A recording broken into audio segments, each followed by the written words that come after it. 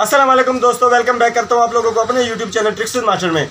दोस्तों, कल या परसों एक दोस्त का मैसेज आया था कमेंट आया था, जिसमें उसने कहा था कि, भाई, कोई ऐसी वीडियो बनाओ जिसमें हम अपनी टिकटॉक वीडियोस के वीडियोस को समो स्लो मोशन में बना सकें।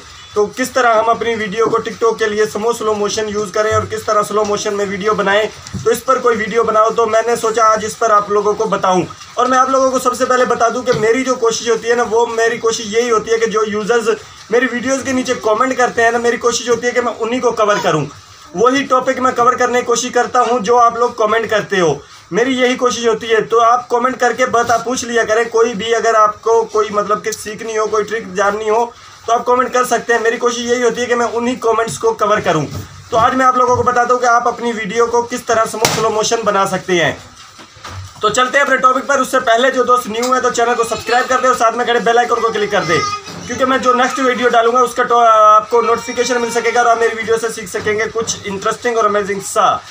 तो अब स्टार्ट करते हैं अपना टॉपिक तो, तो सबसे पहले आपने टिकटॉक का एप्लीकेशन जो है टिकटॉक की ऑफिशियल एप्लीकेशन है उस पर वीडियो शूट करनी है। टिकटॉक को जैसे आप ओपन करेंगे तो उस पर आपने मतलब कि वीडियो शूट करनी है। सबसे पहले आपने टिकटॉक से इसमें स्लो मोशन वीडियो शूट करनी है, ठीक है? टिकटॉक की स्लो मोशन वीडियो शूट करनी है। आधी आपने वही करनी है आधी वो फास्ट वाली करनी है, जो कि नॉर्मल जो कि ओरिजिनल इसका होता है टिकटॉक का, वही आपने स्पीड रखनी है ओरिजिनल जो नॉर्मल होगी। उस पर, अब आधी आपने वो कर ली आधी वो। अब सब, अब जाना है आपने उसमें यूसी ब्राउज़र में, ना कि आपने प्ले स्टोर में। यूसी ब्राउज़र में जाकर आपने सर्च करना है पावर डायरेक्टर एप्लीकेशन को। वीडियो एडिटर ये टिकटॉक की वीडियो एडिटिंग के लिए बेस्ट है, ठीक है? काइन मास्टर जो है, वो हम जब स्लो करते हैं ना तो वो मतलब कि लैग करती है वीडियो और वो मतलब हैंग हो जाती है, रुक रुक के चलती है। तो इसीलिए काइन मास्टर थोड़ा सपोर्ट नहीं करता, लेकिन पावर डायरेक्टर जो है ना, वो सपोर्ट करता है इसको और बहुत अच्छे से इसको कवर करता है। तो आपने पावर टिकटॉक के लिए आपने पावर डायरेक्टर एप्लीकेशन को इंस्टॉल करना है और लेकिन प्ले स्टोर से नहीं यूसी ब्राउज़र से।